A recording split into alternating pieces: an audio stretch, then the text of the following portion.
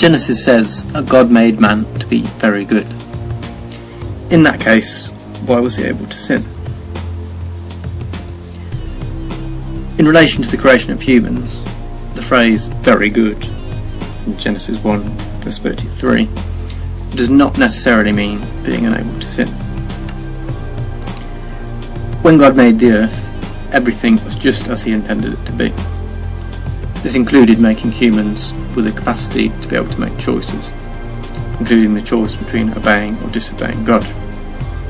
See Genesis chapter 2 verses 16 to 17 or Deuteronomy chapter 30 verse 19. Making people this way was part of God's plan and by God's reckoning it was a very good creation. So very good can mean something like exactly as I intended it to be. Humans, with the capacity to choose between right and wrong, are very good. However, if we choose to do the wrong things, then we can become bad. We have sinned. Romans 3 verses 9 to 18. Thankfully, if we turn to God for forgiveness, then we can become perfect.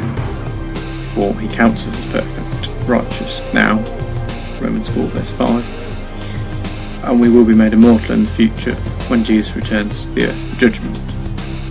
Romans 2 verses 6 to 7, 10 and 16.